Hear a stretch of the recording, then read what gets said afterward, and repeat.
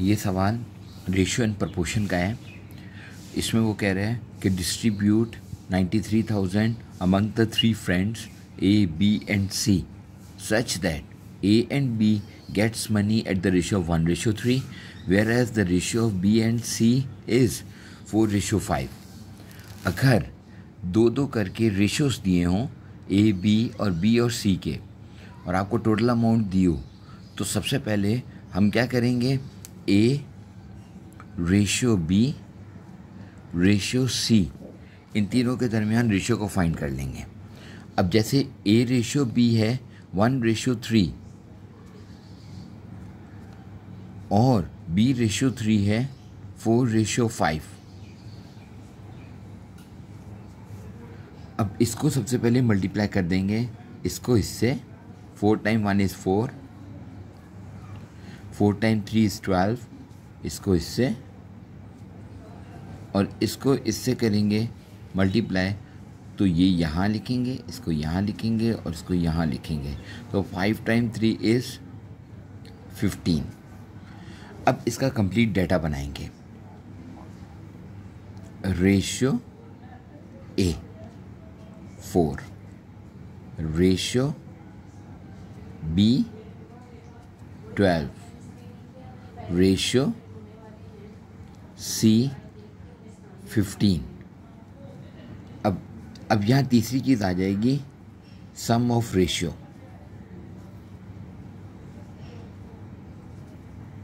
four plus twelve plus fifteen तो ये आपके पास हो जाएँगे twenty seven one thirty one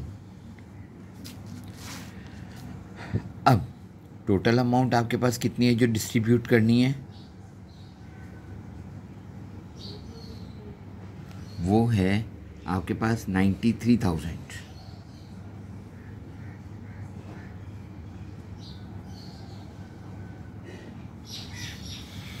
अब, सबसे पहले हम शेयर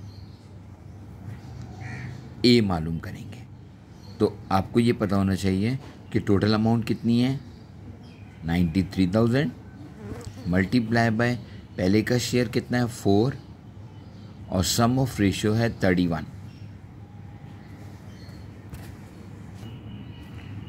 अब थर्टी वन वन सा थर्टी वन थ्री सा तो ये बच गए थ्री थाउज़ेंड फोर थ्री सा ट्वेल्व बारह हज़ार रुपये जो है, वो शेयर ए के आ गए अब आ गए share B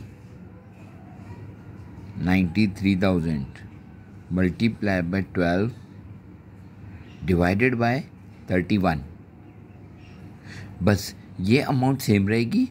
ये जो फोर है, उसकी जगह बी का शेयर आ जाएगा। तो थर्टी वन थ्री ज़ा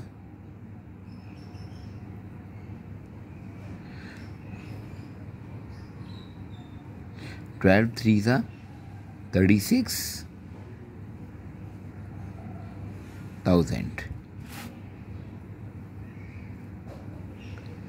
अब आ गया share C ninety three thousand multiply by C का शेयर फिफ्टीन है.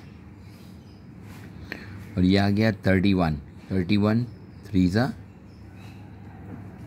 और फिफ्टीन थ्री ज़ा फोर्टी फाइव तो शेयर सी आ गया फोर्टी फाइव थाउज़ेंड अब ये तीनों में डिस्ट्रीब्यूट हो गई।